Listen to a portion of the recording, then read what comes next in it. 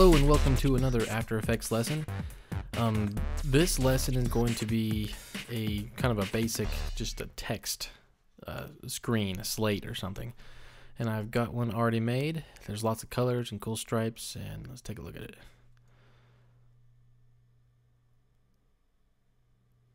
Okay, so pretty cool. Stripes are kind of moving around and changing colors and stuff. And so let's take a look about how we make this. All right. First off, let's get a new composition. I already have one here. So let's add a new solid. So layer, new, solid. Okay. And let's go to the effect, generate four color gradient. Now that's looking pretty good, but let's change this up a little bit. First off, let's, I don't want these colors exactly in the corners like that. Um, something about like that. Let's take this yellow, turn it green. I really like that green. And take that purple, uh, take that pink, I mean, turn it blue, and we'll do something a little bit like that. Okay, now to make this, you know, animate like we had in the example, where it was growing and uh, stripes and stuff changing colors. What we do is first we go to layer, new solid, and we'll call this particle. And what we're going to do is add a particle effect to this. So go to effect, simulation, particle systems 2. And this, when I play it, there's a particle effect. Let's change these default settings to make something a little bit nicer. Up here in the effects panel is um, all the, the, the settings for the effect. And what we want to do is go to the producer and change the X radius to really wide. Go to the physics, velocity, about 0.2, gravity, negative 0.05. Okay. Now longevity, we want to bring that way up. Let's do 15 seconds.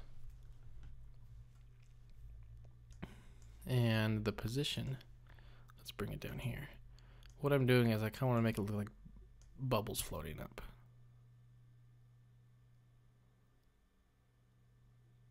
And that's looking pretty good. Except for it starts with nothing there. So what I'm going to do is move forward in time to where the whole thing is filled. Take that, drag it to the beginning, and just extend my solid out to the end of the composition. So now it will play at the beginning. That looks pretty cool, but let's let's change it up a little bit. So the particle, let's change the colors. I don't want yellow. I just want white, I think. And the size is much too small. But I need to change this to a shaded sphere. Sorry. A faded sphere. And bring up the size. Okay, and bring down the opacity. Okay, that's looking pretty cool. Kind of looks like little smoke fog things going up. But what are we going to do to make that look like the example? Like this. Well, I've got a trick. Let's add an adjustment layer. Layer, new, adjustment layer. And you can add effects to adjustment layers and it will affect all of the layers below it. So to this adjustment layer, effect, stylize, mosaic. So now we're starting to kind of see where I'm going with this. Let's adjust the blocks on this. We want, nope, sorry. We want zero vertical blocks. So it's just horizontal. And about 20 should do fine with the horizontal. Now let's do 25.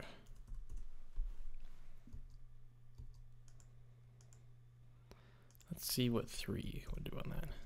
Uh, let's do that. Just one vertical block, hor uh, vertical, and 25 horizontal. Now you can start to see what's going on here. But the colors are a little bit dim. Let's add a curves adjustment. So effect, color correction, curves. We'll darken that. Okay. Now, along with the curves, I want to add a vignette. So let's do another layer, adjustment layer. And to this adjustment layer, I am going to add a ellipse tool mask. To I turn it to the ellipse tool and I just double click and the mask comes up. So how do I turn this into a vignette? Well, let's go to effect, color correction, exposure. And what this will do is I can make it darker. But uh-oh, that's in the wrong spot. So let's go to the mask and instead of add, let's subtract. And let's feather this. That's good. A little bit more. Turn off the mask. That's looking pretty cool. Okay, I want to darken this a little bit. It looks like the particles are just a little bit too bright. And the death size is too big. Back down to 2. Okay, that's looking pretty cool.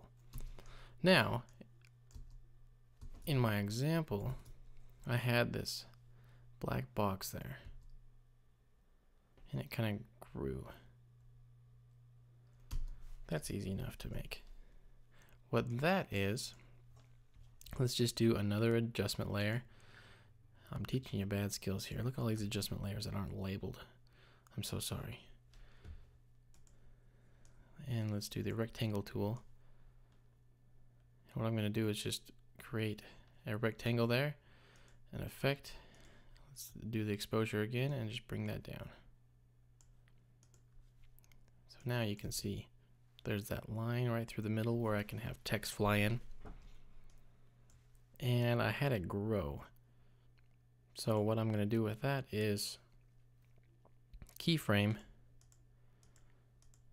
the mask path. So I click on the mask path and I want this to be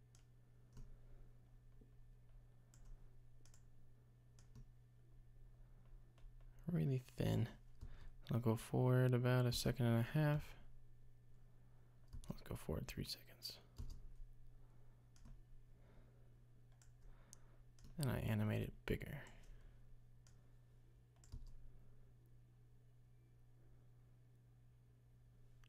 And then from here to the end, we'll just go slightly bigger on both sides.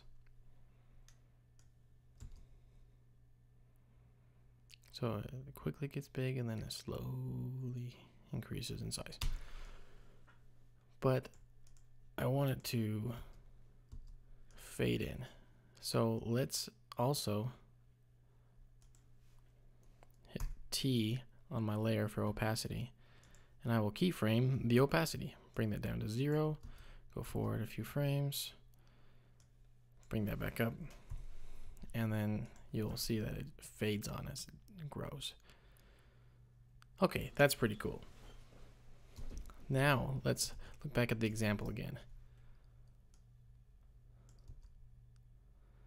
See how the background is almost shrinking and squishing. So let's let's work on that right now. That's really easy to do. What I'm going to do is take this particle layer and the mosaic, the first adjustment layer, color background. I'm going to pre-compose that. So Command Shift C will pre-compose. I will call that background. And now I can take this and what I want to do is keyframe the scale. And bring this let's see let's go to 200 percent. Just stretch it out wide. And then at the end of the composition back to 100 percent. And it will shrink back down to normal size. Okay, that's pretty cool.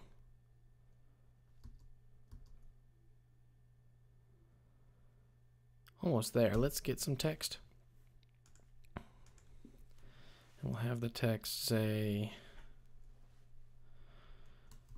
cool tapes.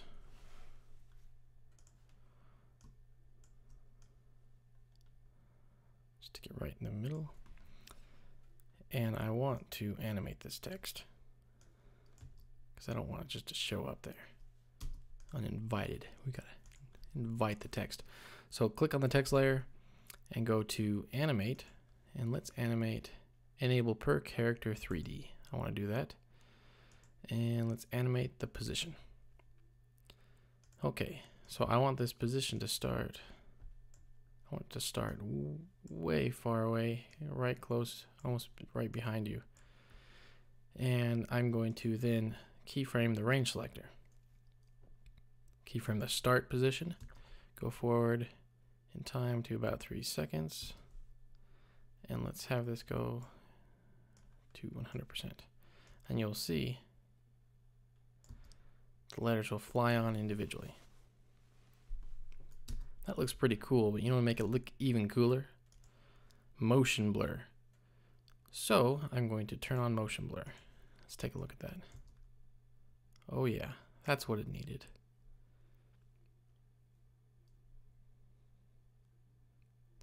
Okay, so we're pretty much there.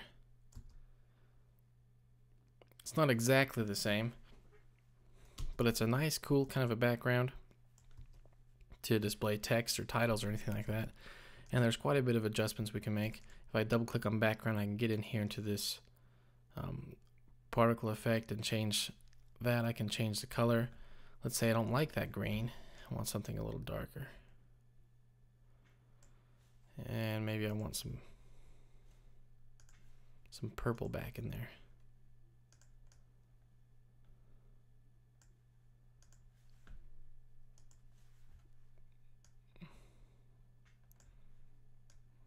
Maybe some yellow. I can go in and change those colors and then it'll affect the final composition.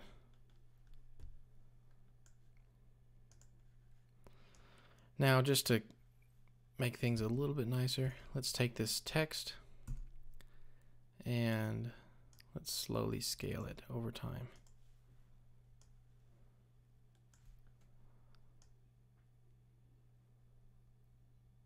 Just a little bit.